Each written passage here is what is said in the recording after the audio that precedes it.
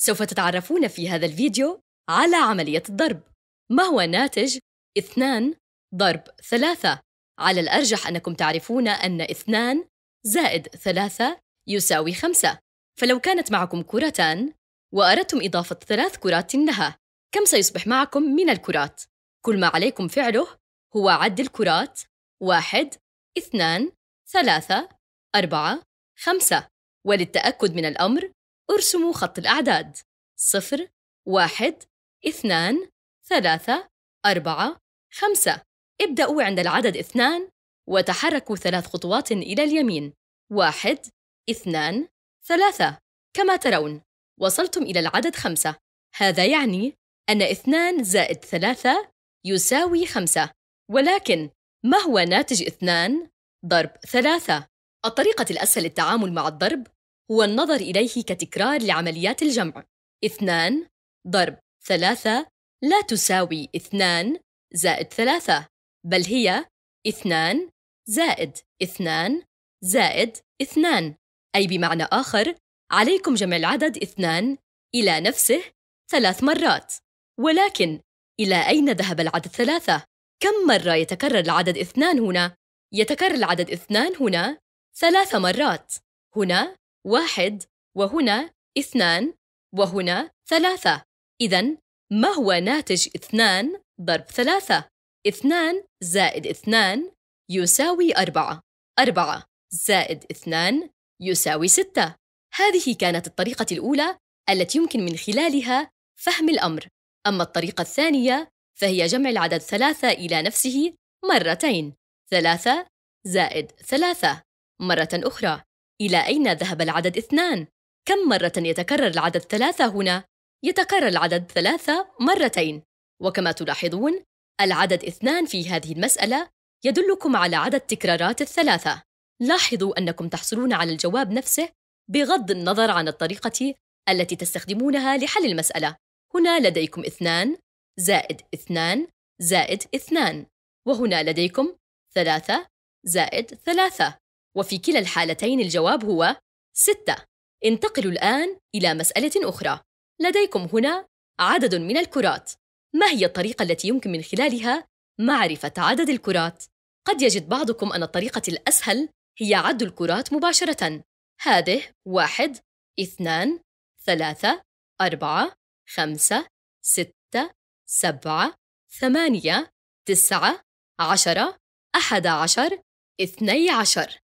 الجواب هو اثني عشر ولكن هل هناك طريقة أسرع لمعرفة الحل؟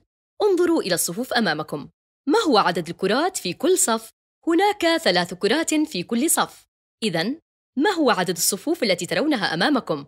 هذا هو الصف الأول وهذا هو الثاني فالثالث والرابع لديكم أربعة صفوف من الكرات وفي كل صف منها ثلاث كرات وهذا يعني أن عدد الكرات هو أربعة ضرب ثلاثة وهذا يساوي اثني عشر.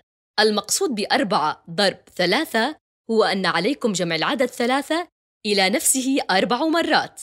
ثلاثة زائد ثلاثة يساوي ستة وثلاثة زائد ستة يساوي تسعة. تسعة زائد ثلاثة يساوي اثني عشر. وكما تعلمتم قبل قليل أربعة ضرب ثلاثة يساوي ثلاثة ضرب أربعة حيث يمكنكم كتابة المسألة بهذا الشكل.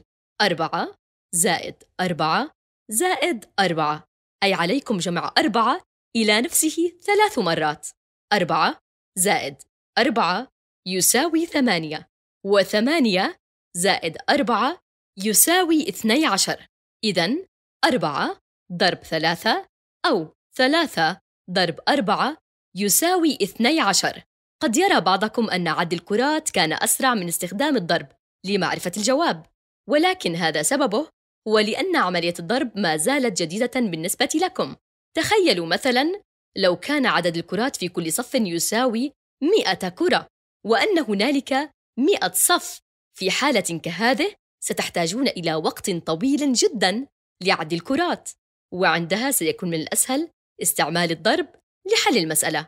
ما زال الوقت مبكرا لتتعلموا كيفية حساب 100 ضرب 100 ولكنكم ستتعلمون ذلك في الوقت المناسب. أما الآن فما هو ناتج ثلاثة ضرب واحد؟